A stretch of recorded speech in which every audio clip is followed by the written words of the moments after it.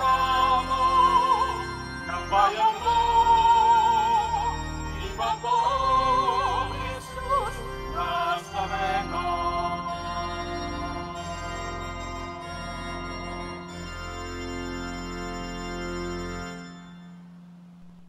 Sa ngala ng Ama at ng Anak at ng Espiritu Santo, Amen. sumainyo, Panginoon. At sumairin. Mga minamahal na kapatid, ang Panginoon nga po ay suma sa atin.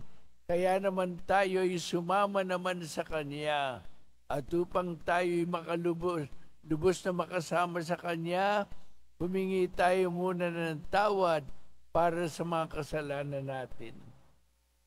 Inaamin ko Sa makapangyarihang Diyos at sa inyo mga kapatid, na lubha akong nagkasala sa isip, sa salita, sa gawa, at sa aking pagkukulang. Kaya'y sinasamo ko sa mahal na Birhen Maria, sa lahat ng mga anghel at mga banal, at sa inyo mga kapatid, na ako'y panalangin sa Panginoong aking Diyos. Kawan tayo na makapangyarihan Diyos, patawarin tayo sa ating mga kasalanan at patnubayan tayo sa buhay na walang hanggan. Amen. Panginoon, kawan mo kami. Panginoon, kaawaan mo kami. Kristo, kaawaan mo kami. Kristo, kaawaan mo kami. Panginoon, kaawaan mo kami. Panginoon, kaawaan mo kami. Manalangin tayo. Ama naming makapangyarihan, nilob mo akuin ang iyong anak ang krus na at kamatayan upang ang sangkatuway matubo, matubos at mabuhay. Ang pagako namin sa krus at kamatayan dito sa lupa, ayon sa diwa ng pagsunod sa iyong loob na ginanap ng iyong anak, ay magpaging dapat na ang aming makamtan ang lubos na katubusan at pagkabuhay sa iyong piling. Sa pamagitan ni Kristo ng anak mo tamang Panginoon na nabubuhay at nagaharing kasama mo at ng Espiritu Santo magpasawalang hanggan. Amen.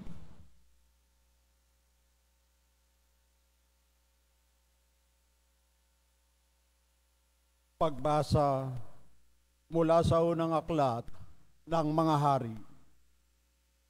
Noong mga araw na yun, si Elias ay sumapit sa Horeb na bundok ng Diyos. Pumasok siya sa isang yungib at doon nagpalipas ng gabi. Walang ano-ano'y nagsalita sa kanya ang Panginoon. Lumabas ka at tumayo sa ibabaw ng bundok sa harapan ko. Pagkasabi nito'y dumaan ang Panginoon at umihip ang napakalakas na hangin. Sumabog ang bundok at nagkadurog-durog ang mga bato sa lakas ng hangin. Ngunit wala sa hangin ang Panginoon. Nang tumigil ang hangin ay lumindol, ngunit wala sa lindol ang Panginoon. Pagkalipas ng lindol ay kumidlat, ngunit wala rin sa kidlat ang Panginoon. Pagkalipas ng kidlat, narinig niya ang isang banayad na tinig. Lumabas si Elias. Tinakpa ng balabal ang kanyang mukha at naghintay sa bunganga ng yungib. Narinig niya ang isang tinig na nagsabi, Elias, bakit ka naririto? Sumagot siya, dahil po sa aking malaking pagmamalasakit para sa inyo, Panginoon, Diyos ng mga hukbo, tinalikda ng bayang Israel ang inyong tipan, winasak ang inyong mga dambana, pinagpapatay ang inyong mga propeta, ako na lamang ang natitira at hinahanap nila ako upang patayin. Sinabi sa kanya ng Panginoon, Bumalik ka sa iyong dinaanan sa ilang na patungong Damasco. Pagdating mo ng lungsod, pahiran mo lang si Jasael bilang hari ng Syria at si Jeho na anak ni Namsi bilang hari ng Israel. Pahiran mo rin ang langis si Eliseo na anak ni Sapat na taga Abel Mihula bilang propetang hahalili sa iyo.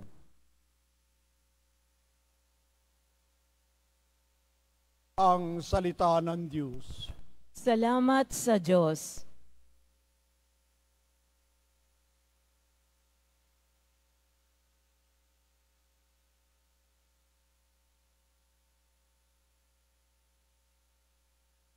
Sa ganda mo't kabutihan, kami iyong liwanagan. Sa ganda mo't kabutihan, kami iyong liwanagan. O Diyos, ako'y dinggin sa aking pagtawag. Lingapin mo ako sa aking mahabag. Ang paanyaya mo'y lumapit sa akin. Huwag kang magkukublit, kita'y hahanapin. Sa ganda mo't kabutihan, kami iyong liwanagan. Huwag kang magagalit, huwag mong itatakwil. Akong katulong mo at iyong alipin. Tagapagligtas ko, huwag akong lisanin. Sa ganda mo't kabutihan, kami iyong liwanagan. Ako'y nananalig na bago mamatay. Masasaksihan ko ang iyong kabutihan na igagawad mo sa mga hinirang sa Panginoon Diyos, tayo'y magtiwala. Ating patatagin ang paniniwala. Tayo ay umasa sa kanyang kalinga. Sa ganda mo't kabutihan, kami iyong liwanagan. Tumayo po ang lahat.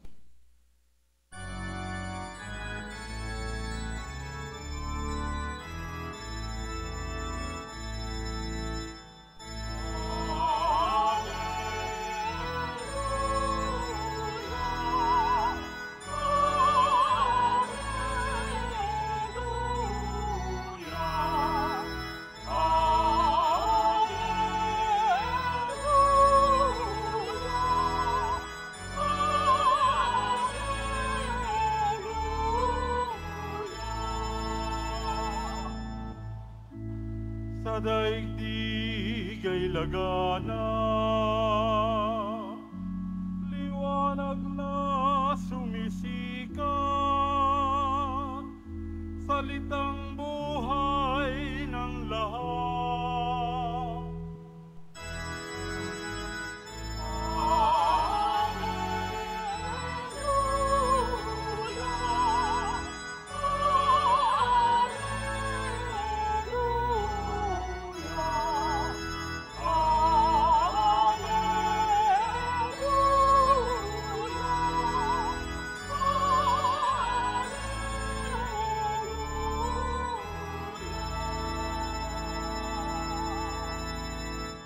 Sumainyo ang Panginoon At sumairin. pagbasa sa mabuting balita ng ating Panginoong Iso Kristo ayon kay San Mateo. Papuri sa iyo, Panginoon.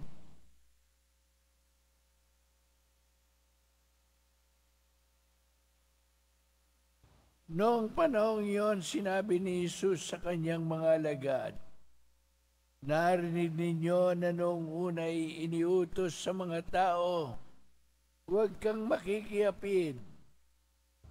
Ngunit kayo ngayon sinasabi ko sa inyo, ang sino mang tumingin ng may bahalay na pagnanasa sa isang babae, sa isip niya'y nakiapid na sa, siya sa babaeng yan.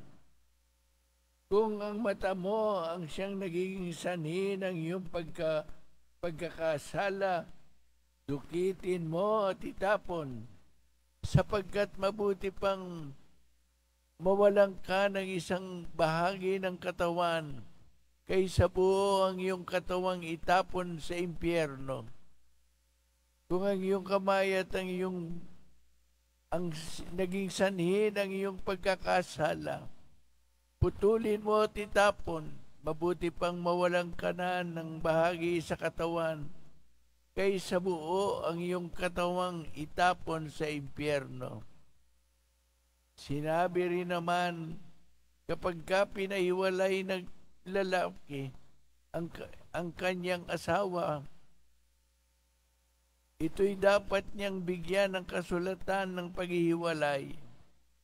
Ngunit ngayon sinasabi ko sa inyo, kapag pinahiwalay ng isang lalaki ang kanyang asawa, nang hindi naman ito nagngangalunya, at ito'y naging asawang muli ng lalaking ito, nag-asawang muli, ang lalaking ito'y nagkasala.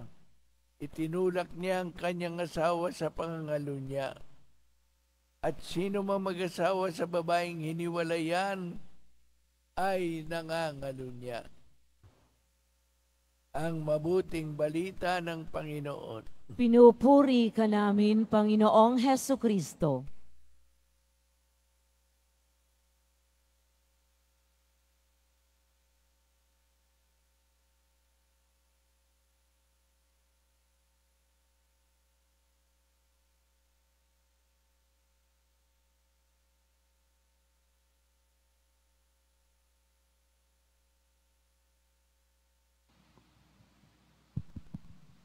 Mga minamahal na kapatid sa pong Nazareno, magandang umaga po sa inyo lahat.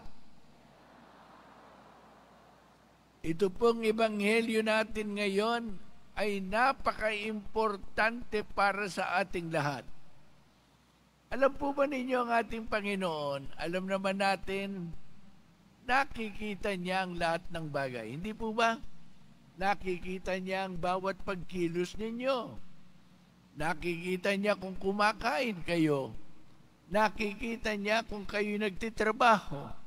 Nakikita niya kung kayo'y nagdarasal. Nakikita niya ang ating ginagawa. At napakahalaga naman sa Kanya na gumawa tayo ng mabuti. Hindi binabaliwala ng Panginoon ang paggawa ng mabuti. Hindi rin niya ginaminam, hindi rin niya binabaliwala ang paggawa ng masama. Isinasaalang-alang yan lagi ng Panginoon. Ngunit ito ang turo sa atin ng Panginoon ngayon. Malinaw. Nang tinitingnan ng Panginoon ay hindi lamang ang iyong kilos, kung hindi ang iyong puso, hindi lamang ang iyong ginagawang panlabas, kundi ang iyong ninanasa sa loob, sa iyong kalooban.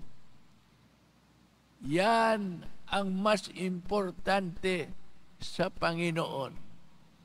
Halimbawa, maliwanag ang binigay niyang halimbawa.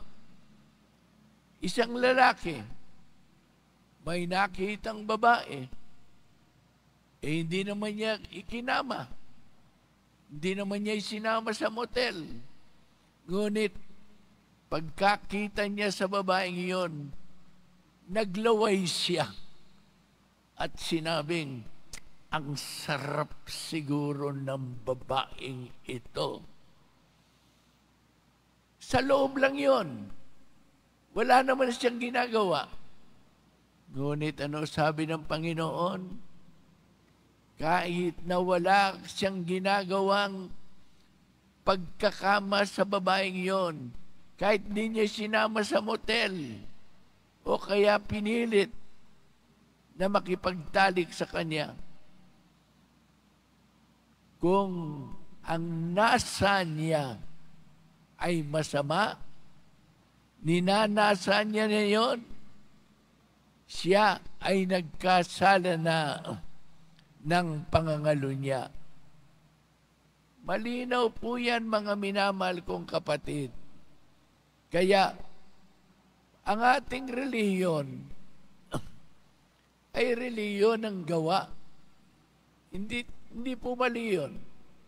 Ngunit, higit sa lahat, ang ating reliyon ay reliyon ng pagtupad sa Panginoon sa loob ng ating puso. Yan ang tinitingnang una ng Panginoon at higit sa lahat. Kaya kung meron kang ipinagkakasalawi ka ng Panginoon na masamang kalooban, anuman, nagdadala sa iyo sa kasalanan, dapat nakahanda ka na ito ay isuko sa halip na ikaw ay mapunta sa impyerno na buong buo. Opo, nagsisimba tayo dito. Ngunit, alam niyo po paminsan-minsan dito sa Quiapo, may mga nagsisimba, kumakanta pa marahil, pero kaya nagpunta rito para mandukot. Eh kung nagpunta rito para mandukot, hindi naman niya nakik hindi naman nakikita ng tao at ng pulis na nandurukot siya. Ngunit nakikita ng Panginoon ang kanyang nasa, ang kanyang gusto. Kaya, yon ang unang-unang tinitingnan ng Panginoon sa atin. At kahit na importante na ayusin natin ang ating mga gawa, mas importanteng ayusin natin ang ating mabuting kalooban upang sa ganon, ito ay maging kasiya-siya sa Diyos. Nandito ka. Ba't ka nandito? Sapagkat gusto kong talagang sumamba sa Diyos. Nandito ka bakit nandito ka? Eh kasi, pinilit lang naman ako ni Mrs. ko eh. Hindi ako pinilit, hindi naman ako pupunta rito eh. Sino ba naman yung Nazareno na yan sa akin? Ayan. Kaya, sabi nga ng Panginoon, ang puso mo ang unang tinitingnan ko. Ngayon, ito na naman, Abay, ang Panginoon talagang sinusubok tayong mga Katolikong Pilipino. Sabi niya, pag hiniwalayan ng isang lalaki ang isang babae, sa anuman dahilan, maliban lang sa, sabi dito, pangangaloy niya, hindi po, patawarin ninyo, ang translation po o ang pagsasalin sa Tagalog ay mali hindi po pangangalunya, pornaya.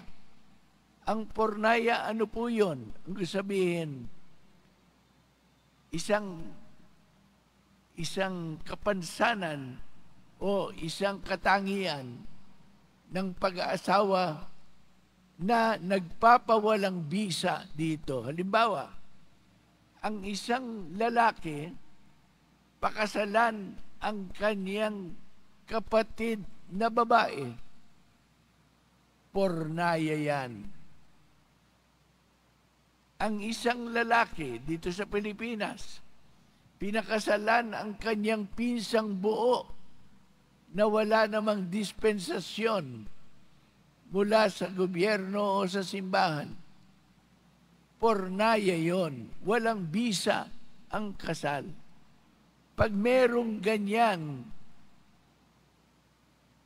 pagkukulang o depekto ang pag-aasawa, hindi lamang maaring hiwalayan, dapat hiwalayan. Dapat hiwalayan. Magpinsang buo kayo, nagsama kayo, o kaya, hindi man kayo magpinsang buo, pero nagsama kayo bilang mag-asawa, hindi kayo kasal, katoliko kayo, hindi kayo kasal sa simbahan, Yan ay pornaya. Yan ay hindi. Ang dalawang yan, hindi dapat magkasama. Maliban doon, sabi ng Panginoon, walang diborsyo. Ang gusto sabihin, basta ang kasal ay tunay na kasal, walang diborsyo. Ano sabi ng Biblia? Maliwanag, ang pinagsama ng Diyos, huwag paghiwalayin ng tao. Ulitin nga nyo, ang pinagsama ng Diyos, huwag paghiwalayin ng tao. Ulitin po natin lahat. Ang pinagsama ng Diyos, huwag paghiwalayin ng tao. At sabihin nyo ngayon malakas harap ng Diyos, totohanan, ang aking misis o ang aking mister, hindi ko hihiwalayan. Ulitin natin, ang aking misis o mister, hindi ko hihiwalayan. Ayaw ko sa diborsyo sapagkat ayaw yan ng Panginoon. Amen? Amen.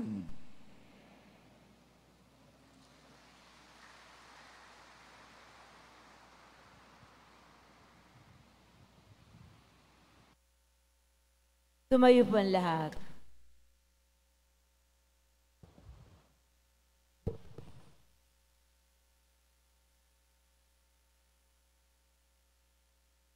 Mga minamahal na kapatid, sama-sama tayong tumawag sa Panginoon Diyos na nagmamahal sa atin at sabihin natin, Mahal na pong Isus Nazareno, kaawaan mo kami. Mahal na poong Jesus Nazareno, kaawaan mo kami. pang ang Eucharistia ng ating tinatanggap sa komunyon at inihahandog sa misa bilang alaala ng mga hirap ng mananakop ay magdulot sa atin ng wagas na pagmamahal sa Diyos at sa kapwa. Manalangin tayo. Mahal na poong Jesus Nazareno, kaawaan mo kami. Upang ang panalangin na Jesus Nazareno sa halamanan ng Gethsemane, na dito'y pinawisan siya ng dugo, ay maghasik sa atin ng pagkahilig sa panalangin na siyang mabisang lunas sa lahat ng karamdaman ng tao. Manalangin tayo. Mahal na poong Jesus Nazareno, kaawaan mo kami. Upang ang kanyang koronang tinik, damit na purpura at krus ay magpaalaala sa atin na ang kanyang mga aral at simulain bilang hari ng sanlibutan ay dapat maghari sa ating isipan, angkan at lipunan. Manalangin tayo. Mahal na poong Jesus Nazareno, kaawaan mo kami. Upang sa bisa ng kanyang pagpapasan ng krus sa mga lansangan sa Jerusalem, ay matuto tayong makiramay at makihati sa mga kahirapan at tiisin ng kapwa. Manalangin tayo. Mahal na poong Jesus Nazareno, kaawaan mo kami. Upang tulungan tayo ng mahal na Birhen, ina ng hapis, na maging tunay na larawan ng kanyang anak sa isip, wika at gawa, nang sa gayon ay makamit ang ating kahilingan sa poong Jesus Nazareno. Manalangin tayo. Mahal na poong Jesus Nazareno, kaawaan mo kami.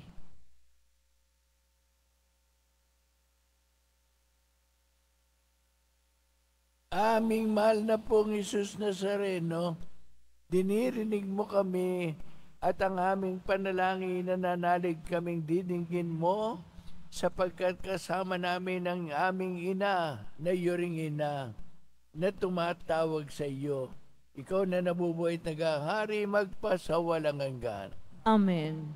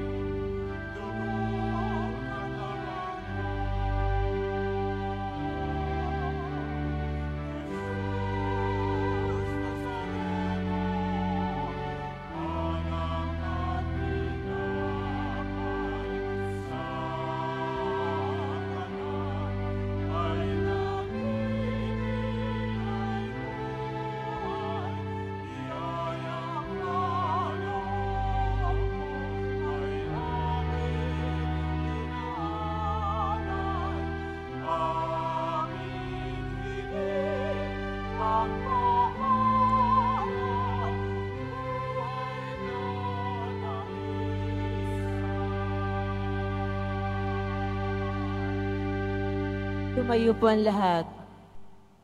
Manalangin kayo mga kapatid upang itong ating sakripisyo ay maging kalugod-lugod sa Diyos amang makapangyarihan sa lahat.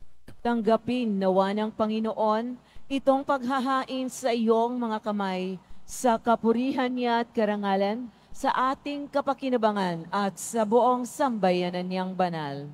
Ama naming lumikha sa ikapagpapatawad ng mga kasalanan, maganap nawang paghahaing ito na sa dambana ng krus ay siyang guma ay siyang pumawi sa kasalanan ng buong mundo sa pamagitan ni Kristo na nabubuhay at nagaharing kasama mo at ng Espiritu Santo magpasawalang hanggan. Amen. Sumainyo ang Panginoon. At sumairin. Ita sa Diyos ang inyong puso at diwa. Itinaas na namin sa Panginoon. Pasalamatan natin ang Panginoong ating Diyos. Marapat na siya ay pasalamatan. Ama naming makapangyarihan, tunay nga marapat na ikaw ay aming pasalamatan. Iyong ipinasiyang sa kahoy na krus, ang sangkataway tubusin ni Jesus. Sa punong kahoy, nagkapuwang ang kamatayan. Sa kahoy na krus, itinanghal ang pagkabuhay. Sa punong kahoy na naihigang sumuhay sa iyo. Sa, kru- sa kru- kahoy na krus, siya'y nanaig, uh, nanaig naman ang masunuring anak mo. Kaya kaisa ng mga anghel na nagsisiawit ng papuri sa iyo, nang walang humpay sa kalangitan, kami nagbubunyi sa iyong kadakila.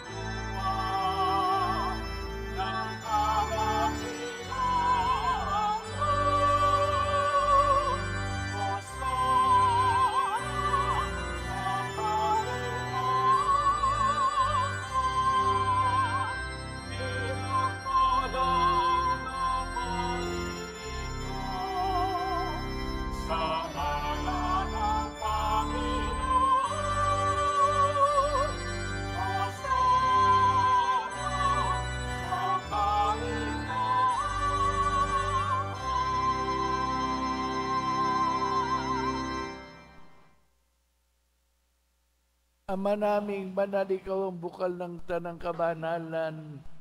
Kaya sa pamagitan ng iyong Espiritu, gawin mong banal ang mga kaloob na ito upang para sa amin maging katawan at dugo ng aming Panginoong Heso Kristo. Bago niya pinagtiis ang kusang loob na maging handog, hinawakan niya tinapay, pinasalamatan kanya.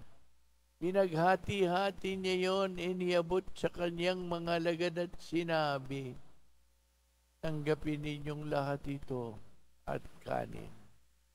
Itong aking katawan na yahandog para sa inyo.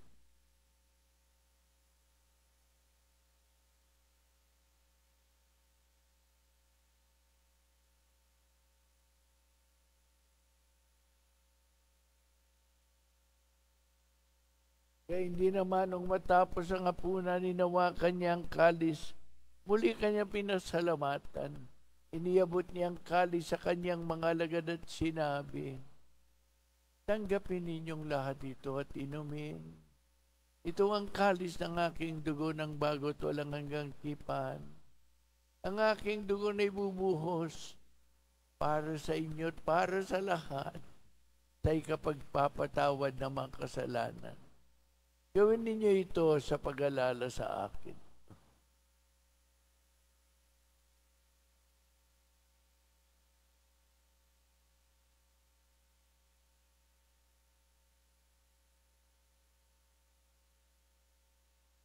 Tumayo pa lahat. Ipagbunyi natin ang misteryo ng pananampalataya. Si Kristo'y namatay, si Kristo'y nabuhay, si Kristo'y babalik sa wakas ng panahon. Ama, ginagawa namin ngayon ang pag-alala sa pagkamatay at muling pagkabuhay ng iyong anak. Kaya tinihalay namin sa iyong tinapay na nagbibigay buhay at ang kalis na nagkakaloob ng kaligtasan. Kami nagpapasalamat dahil kami minarapat na tumayo sa harap mo para maglingkod sa iyo.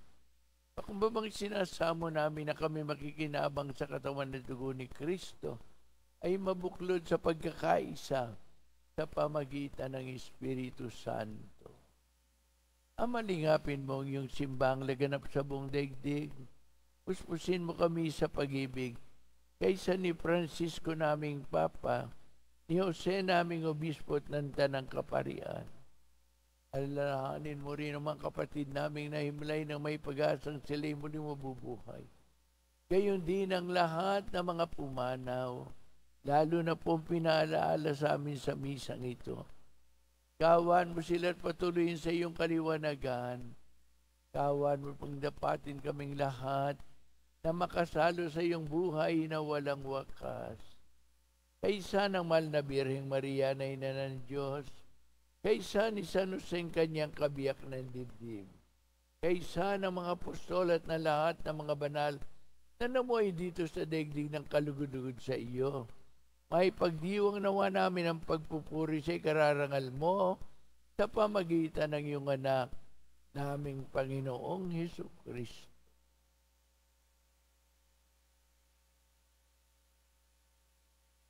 Sa pamamagitan ni Kristo kasama niya at sa Kanya, ang lahat ng parangal at papuri sa iyo, Diyos amang makapangyarihan, kasama ng Espiritu Santo magpasawalang hanggan.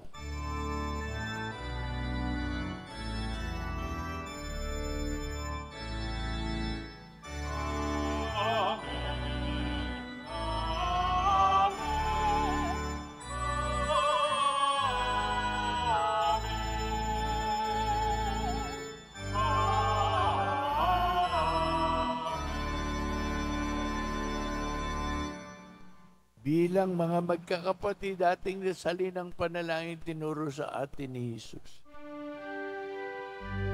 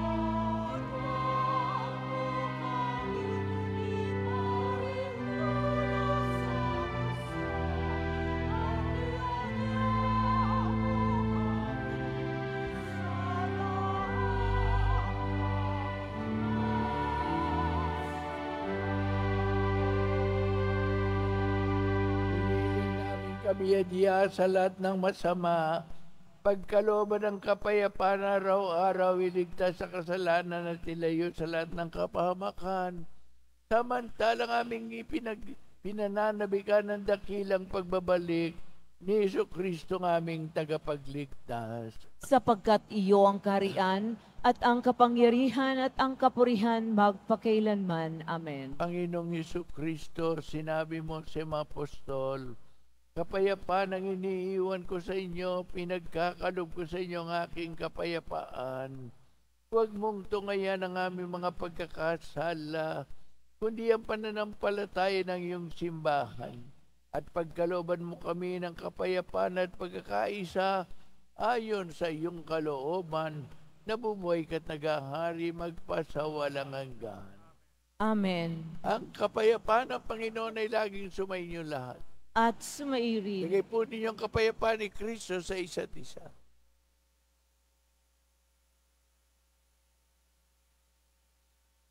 Kordero ng Diyos na nag-aalis ng mga kasalanan ng sanlibutan, maawa ka sa amin.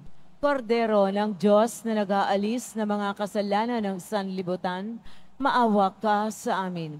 Kordero ng Diyos na nag-aalis ng mga kasalanan ng sanlibutan, ipagkaloob mo sa amin ang kapayapaan.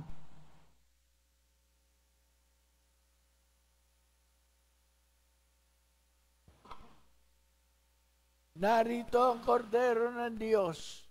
Narito si Jesus na nagali sa mga kasalanan na sa libutan. Mapapalad ang mga tinatawag sa kaniyang piging. Panginoon, hindi ako karapat-dapat na magpatuloy sa iyo. Ngunit sa isang salita mo lamang ay gagaling na ako.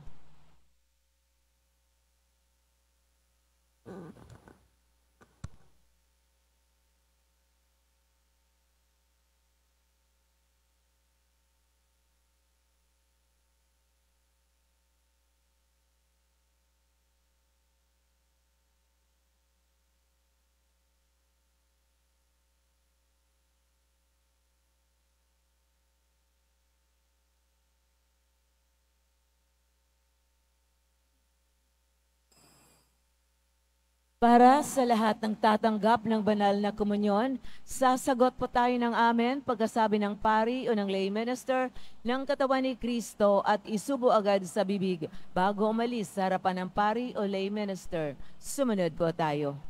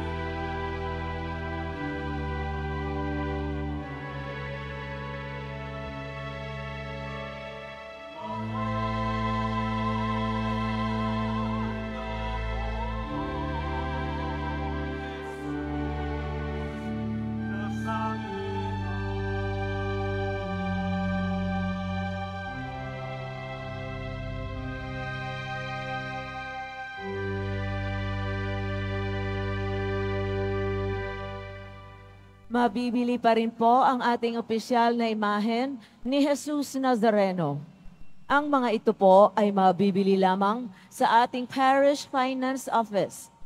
Ang malilikom po na pondo ay gagamitin sa pagsasaayos ng ating Adoration Chapel at Baptistry. Sa darating na June 22, 2024, Sabado, magkakaroon po tayo ng Binyagang Bayan para sa mga batang 0 to 7 years old, handog sa kapistahan ng kapanganakan ni San Juan Bautista.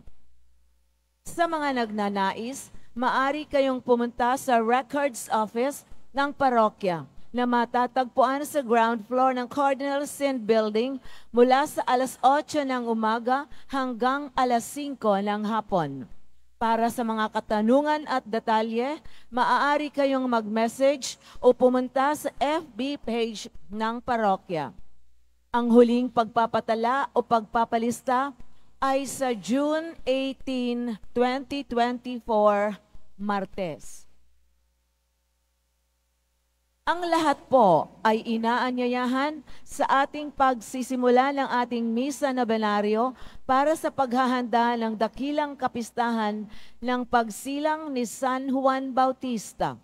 Ito po ay magsisimula sa June 15 hanggang June 23 sa ganap na alas 12.15 ng tanghali.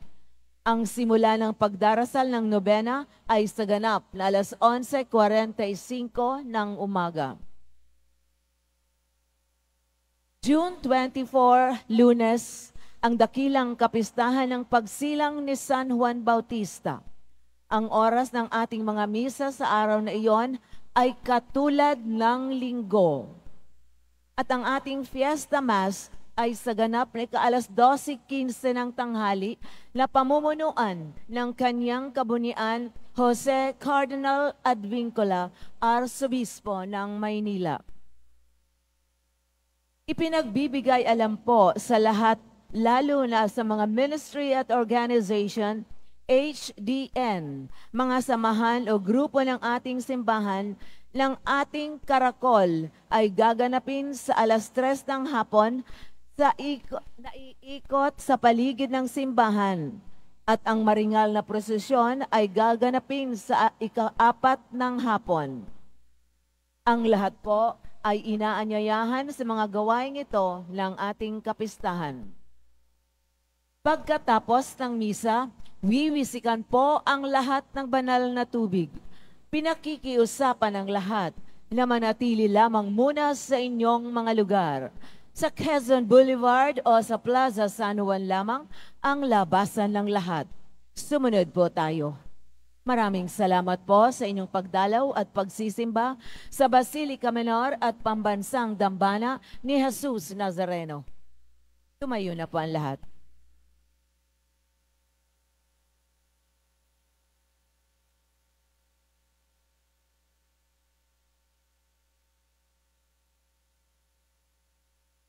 Manalangin tayo. Panginoong Yeso Kristo, kaming nagsalo-salo sa banal na pakikinabang, ay nakikiusap sa iyo na mga nasagip ng kahoy na krus na nagbibigay buhay, ay yung iyatid sa pagkabuhay at sa kaluwalhatian, sapagkat ikaw ang Panginoon, magpasawalang hanggan. Amen. Sumainyo ang Panginoon. At sumairin. Mahal na pong Jesus Nazareno, iniyayag mo sa pamagitan ng krus ang walang maliw na pag-ibig ng Diyos sa sangkatauhan. Pakinggan mo ang kailingan ng iyong angka na nagsusumamo sa iyo. Makamtanawa nila ang iyong katugunan at tanggapin ang kasagutan na may utang na loob na tinatanaw. Basbasat din po ninyo mga daladala ng mga imahin at dasalan sa pamagitan ng bendisyon na ito naway maalaala nila ang mga pangako nila noon sa binyag na ikaw ang kanilang iibigin at paglilingkuran bilang Panginoon magpasawalang hanggan. Amen. At pagpalain kayo ng makapangyarihan Diyos, Ama, Anak, at Espiritu Santo. Amen. Tapos na ang misa, umayo kayo nagmamahalan sa isa't isa. Salamat sa Diyos.